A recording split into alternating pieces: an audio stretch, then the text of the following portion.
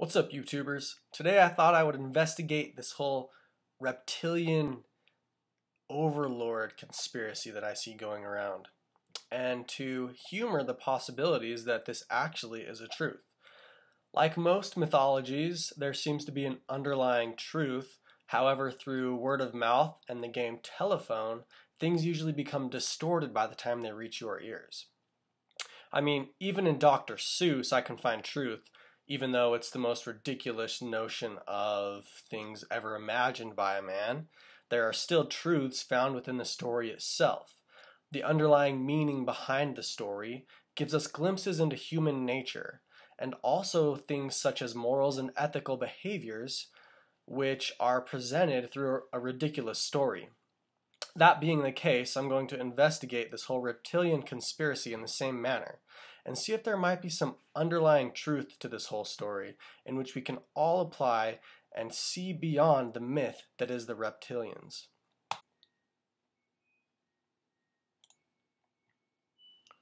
So here we begin our investigation. Um, looked through a lot of different YouTube videos, and this is the one that I've found that most eloquently describes the conspiracy theory in its fullest, or the mythology, I might say. And, you know, it's the top 10 things you should know about the reptilian conspiracy theory by top 10s. And we're starting off here by saying there's a reptilian hierarchy within the reptilian overlord system itself. And, you know, goes into how to spot a reptilian. And mostly they're Europeans. Um, and, you know, if you look at their skin through the light uh, at the correct angle, you can see green tinge and their eyes change colors um, and you know prominent figures throughout history and in our current times which have been these reptilian overlords and they control world government uh, you know again how is it that you can spot a reptilian what distinguishing characteristics do they hold that the rest of the population you know doesn't have so you know, it goes into their genetic differences, their blood differences, again, you know, different world leaders.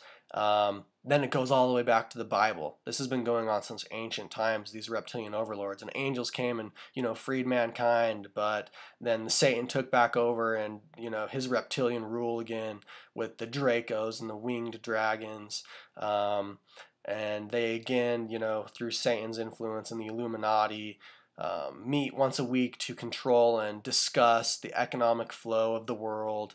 And they're a shadow government ruled by um, the Rothschilds, and uh, the you know they all want the New World Order, and just goes on and on and on.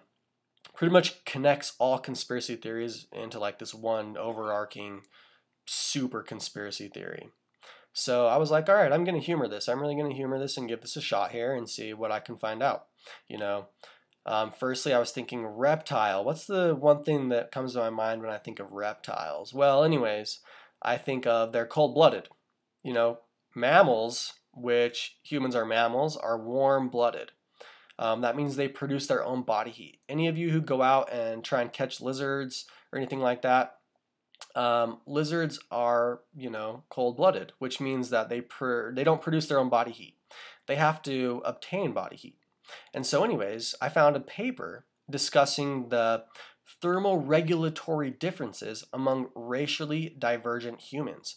And what this means is that ethnic ethnic um, diversities within people, and this is race, you know, black, white, Asian, mulatto, whatever, actually have different um, thermoregulatory factors um, in their physiology, in their bodies. You know, their um, uh, the way that they actually produce heat and absorb heat. And so I thought, all right, well, there's actually some evidence showing here that there are people that are possibly more cold-blooded than other people in regards to that they produce less body heat themselves and you know they rely on other factors such as sunlight to produce this body heat for them.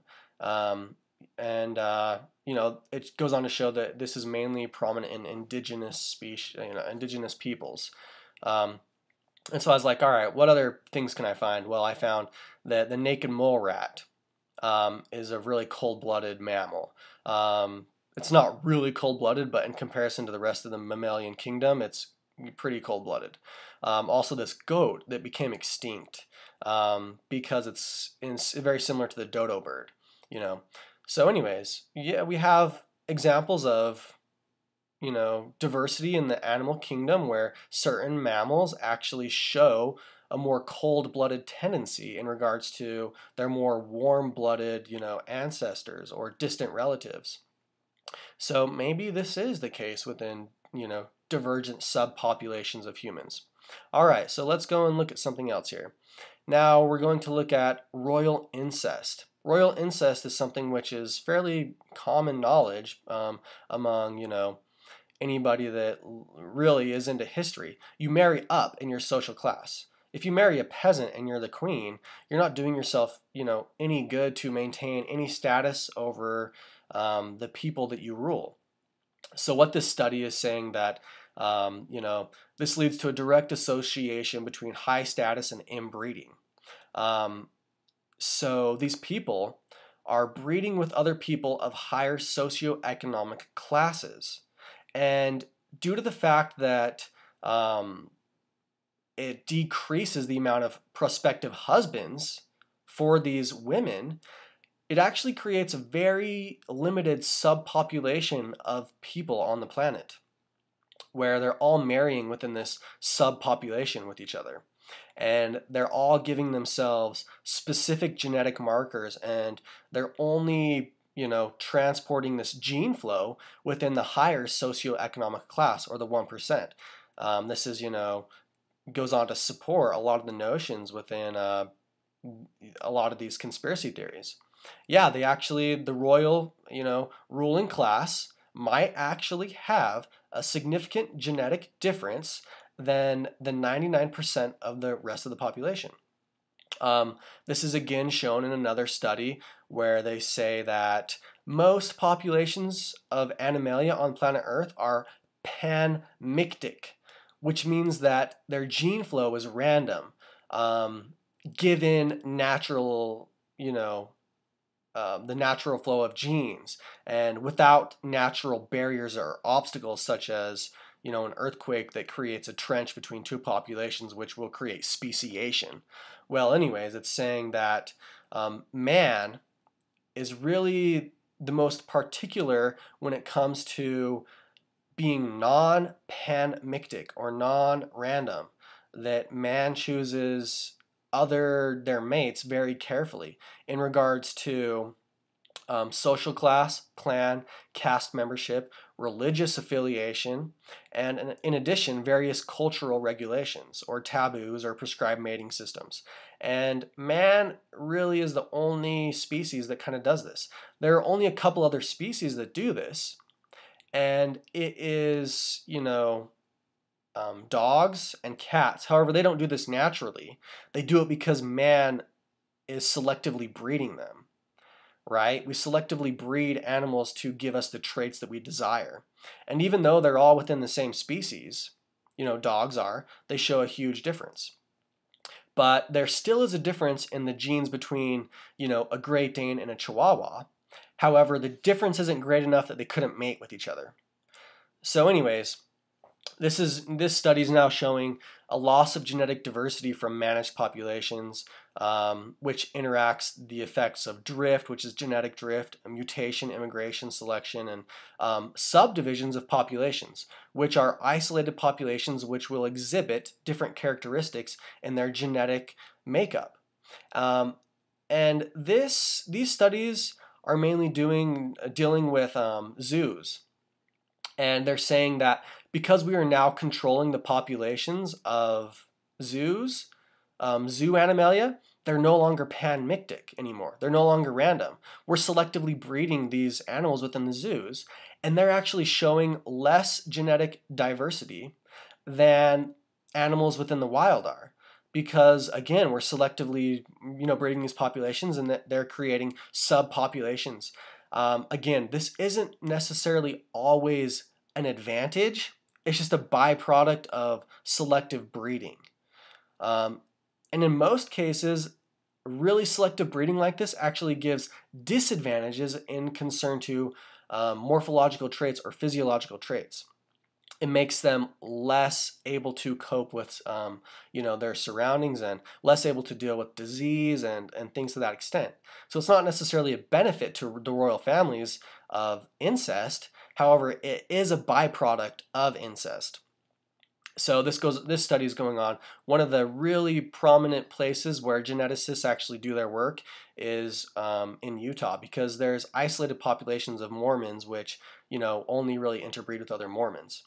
Um, and so, again, we're talking about um, ethnic, uh, ethnic inequalities in health, and this is due to, um, you know, it's it's this one's pretty complicated um, because it's saying that different races have different qualities of health, but it also relates socioeconomic class. Well, anyways, it's kind of saying that it may not necessarily be that specific races are less healthy, but it's more so their socioeconomic class. But the fact of the matter is that different races actually fall into um, a hierarchy of socioeconomic class, which makes them less healthy. Um, again, we're looking at um, the pattern and genetic diversity, uh, you know, between individuals. And this one's with humans, and it shows that the largest genetic diversity is between Africans. Um, they have the most um, large total amount of alleles, but then also the most unique alleles in comparison to either Europeans or Asians, which are, you know, and have been a lot more selective in their societies between who it is that they breed with. So they're showing a lot less diversity within their populations.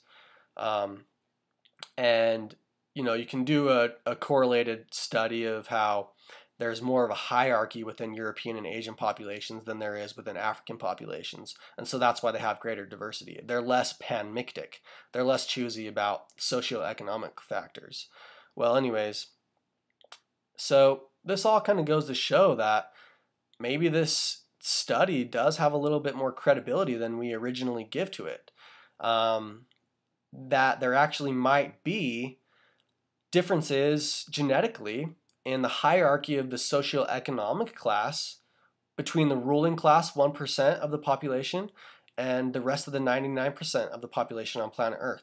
Now, whether or not there's some alien, mm, you know, um, species or whatever, but again, I think that this mythology in itself has a lot of credence to really give to it. You know, we look at, you know, Bible documents that say, and the gods came down and, you know, interbred with, um, man because they found them attractive.